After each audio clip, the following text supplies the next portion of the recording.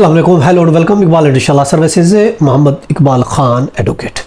आज का जो हमारा लीगल लेक्चर है, वो है who can get guardianship of the child बच्चे की गार्डियनशिप कौन ले सकता है? ये हमारा आज का लीगल लेक्चर देखें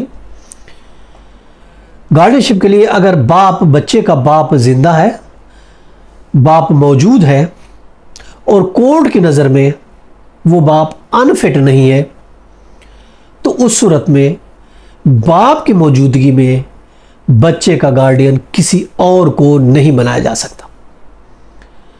और अगर बाप मौजूद नहीं है, बाप ज़िंदा नहीं है, या बाप फिर अनफिट है, जिसको कोर्ट ने डिक्लेयर किया तो उस सूरत में फिर बारी आती है माँ की।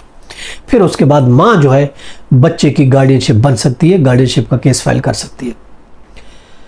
और अगर किसी तीसरे फ़र्क की बात तीसरा फरीक देखें माँ बाप की मौजूदगी में तीसरा फरीक कोई भी बच्चों का गार्डियन नहीं बन सकता कोर्ट से गार्डियनशिप नहीं ली जा सकती।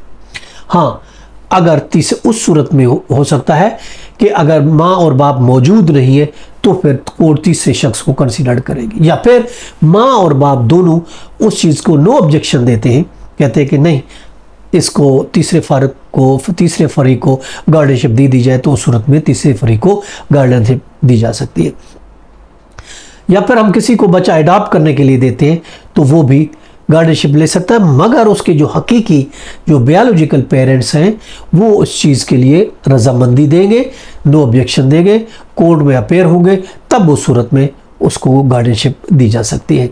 उनकी रजामंदी ज़रूरी है। अब उसके अलावा कोई भी हो सकता है, जैसे दादा, दादी, नाना, नानी चचा चची मामू मामानी वगैरह जो है, ये सब अपॉइंट हो सकते हैं, मगर with the permission of the parents उनकी जो है। और कोड जो इम्पोर्टेंट चीज़ देखती है, वो ये देखती है कि एक तो बच्चों की, इसमें कंसिडर अगर हम करते हैं सेक्शन एट है गार्डियन वार्ड एक्ट का, उसमें वो कौन से पॉइंट्स हैं, उन चीज़ों को, अहल शख्सों के बारे में बहुत सी चीज़ों को कोर्ट देखती है। ख्वाहिशमंद कौन सा है, ये देखा जाता है।